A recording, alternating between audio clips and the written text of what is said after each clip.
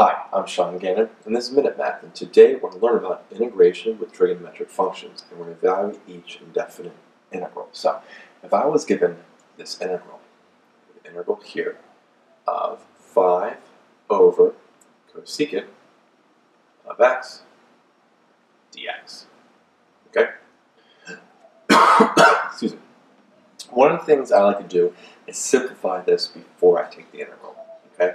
I know 1 over cosecant of x is sine of x, so this is the same thing as integral of 5, just sine of x dx.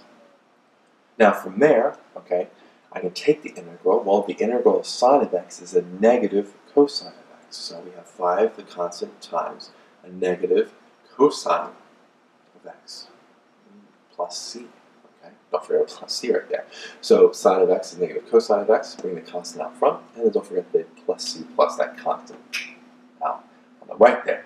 Let's simplify this. The negative just go out front. So it's a negative 5 cosine of x plus c. And there we have it, our final answer.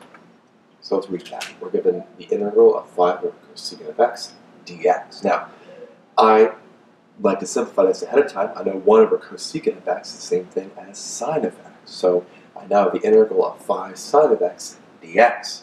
Constant of 5 comes out front. Integral of sine of x is negative cosine of x, and don't forget plus c plus that constant right there, okay? Simplify, negative comes out in front of the 5, and so our final answer here is negative 5 cosine of x plus c.